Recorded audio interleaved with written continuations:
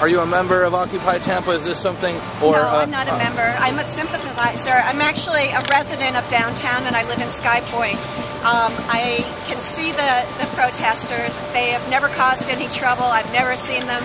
Um, I've never had any difficulty with them. They're peaceful people. Uh, that's all I can say as a resident downtown and I face the park. And uh, I mean, after seeing this, uh, what did the mayor do? Uh, what did he do after the arrests were over? Did anyone approach the mayor and try to talk to him after that? I didn't see any of that I um, at all. Uh, it looked like he was leaving prior to that, so I, I can't say. I don't know.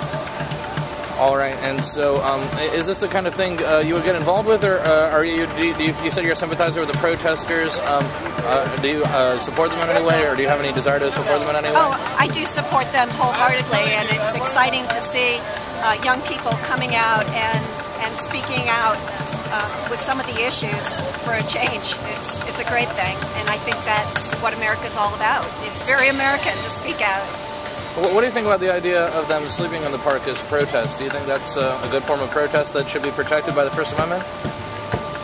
Um, yes, I do. I think it should be protected. Whether I think it's it's right or not, that's not for me to decide. I'm not in the Occupy Tampa group. Um, I do support them and support the message that they are are trying to get out. Okay, thank you very much. Uh-huh.